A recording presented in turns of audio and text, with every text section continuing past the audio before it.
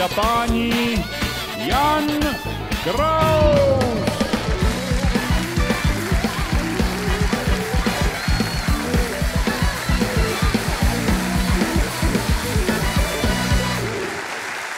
Dobrý večer, děkuji úctivě, dobrý večer, dámy a pánové. Dobrý večer, děkuji.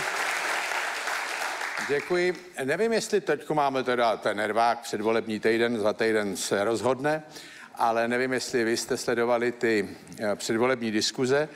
Já jsem na to dal tady do té aplikace Náš názor otázku. Jestli se díváte na televizní volební diskuze, a tady máme výsledky 46% ano, 52 ne a neví 2%.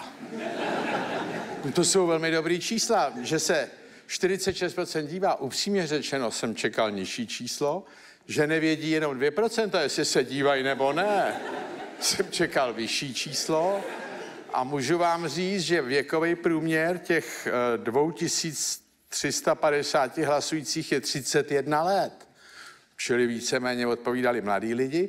Ono se říká, že letos se mladí chystají k volbám, tak uvidíme a uvidíme taky, co nám s těma volbama provedou.